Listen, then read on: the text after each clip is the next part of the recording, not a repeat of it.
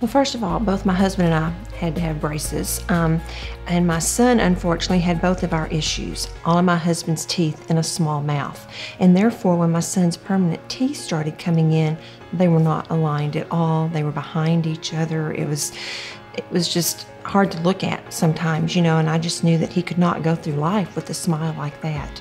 And so we started coming uh, when the dentist thought, yes, you're definitely going to need braces when my son was in third grade. However, because my son's mouth was not ready for the treatment, it wasn't until he was a freshman in high school that he started phase one. So it was just knowing that we wanted our son to have a good smile, but also to have confidence about who you are. Because I can remember, you know, growing up, if you're not comfortable with your teeth, you're not going to be comfortable smiling, and therefore your self confidence gets delayed. So I just think it all works together when we came in and they explained what was going to happen and it's really changed a lot since I had braces and so the procedure was very easy.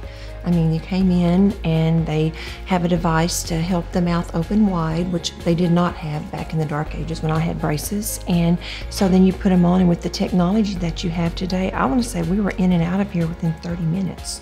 So, and it was great, you know, because, you know, a lot of kids don't like to sit still and wait that long. And also, the staff was very good about explaining what was going to happen.